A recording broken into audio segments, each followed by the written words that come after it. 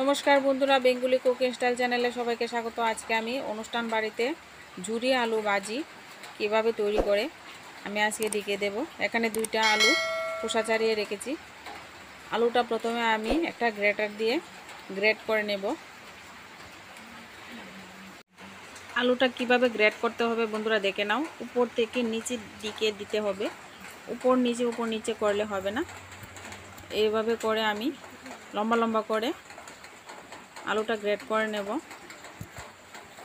আলু আমার গ্রেট করা হয়ে গেছে।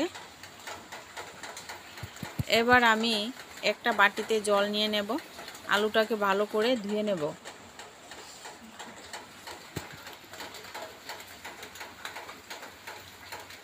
এবার জল পাল্টে পাল্টে আমি দুই থেকে তিনবার আলুটা ধুয়ে নেব।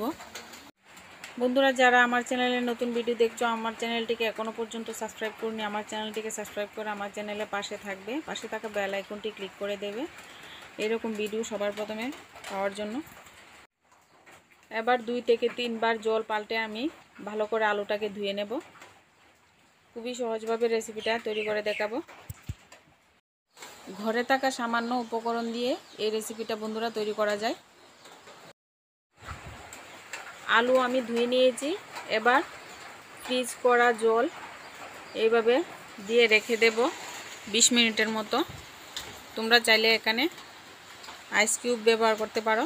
আমি এখানে ঠান্ডা জল দিয়ে দিয়েছি ফ্রিজ থেকে বের করে। এবার ২০ মিনিট পর্যন্ত আমি রেখে দেব। ২০ মিনিট পর আমি এইভাবে আলুগুলিকে জলটা চেপে চেপে একটা পাত্রে নিয়ে নেব। ভালো করে জলটা শুকিয়ে নিতে হবে।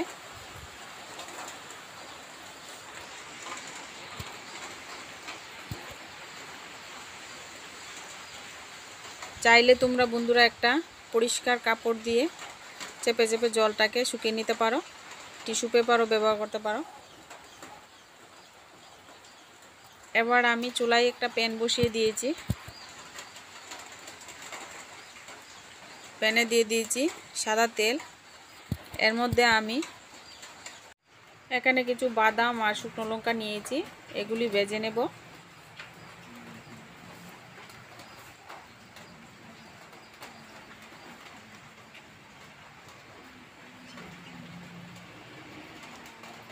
আমি শুকনো লঙ্কাগুলি আগে তুলে নেব।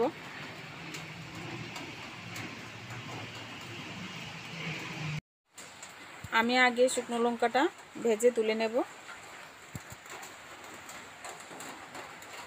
তারপর বাদামটাও লাল হয়ে গেছে, এবার তুলে নেব।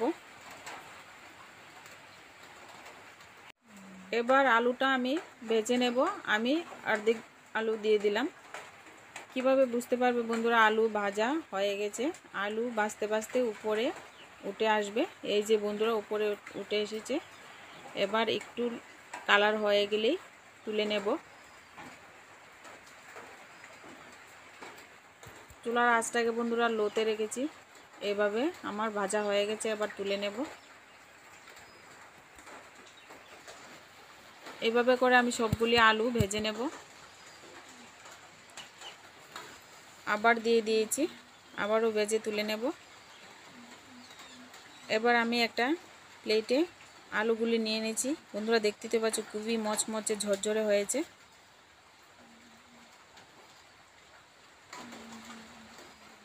এবার এর মধ্যে আমি শুকনো লঙ্কা, বাদাম দিয়ে দিলাম। সামান্য পরিমাণ লবণ মেখে আমি ঝুরি আলু পরিবেশন করে নেব। তোমাদের কাছে কেমন লেগেছে অবশ্যই কমেন্ট করবে। ভালো লেগে থাকলে আমার চ্যানেলটিকে সাবস্ক্রাইব করে, আমার চ্যানেলের পাশে থাকবে। বেশি করে শেয়ার করবে।